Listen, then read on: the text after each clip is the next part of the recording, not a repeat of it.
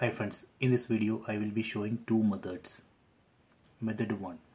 First make sure that both TV and mobile phone both are connected to same Wi-Fi network. So here I have connected this TV to Wi-Fi network named BSNL 1. So here in the left side you can see this mobile phone also connected to same Wi-Fi network BSNL 1. After that in TV go to settings then select device preferences then select Chromecast then select let others control your cast media. So here we need to select always. Select always here. Then in mobile phone open Google Play Store then install this Google Home app I already installed it. Let me open it.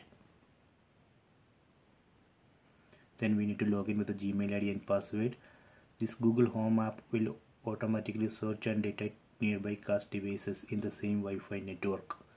You can see just detected TV this is the name of the TV which I am using. Tap on this name.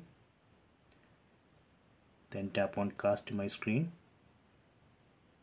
Then tap on cast screen. Then tap on start now it's working. So this is the method 1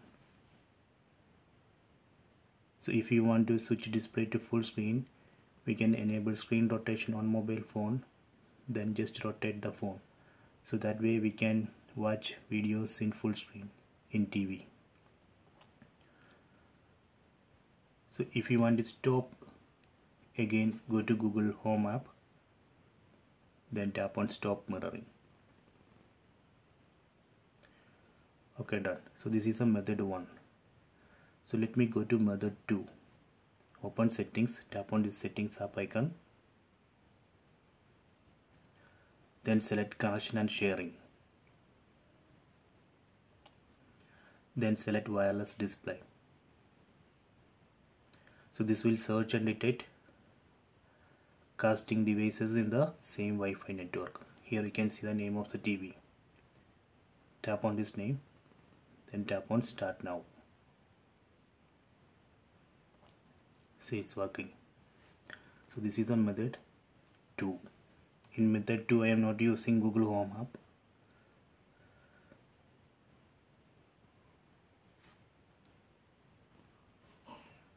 So here if you want to stop again go to settings connection and sharing wireless display then tap on TV name then tap on disconnect. Okay done. So these are the two methods.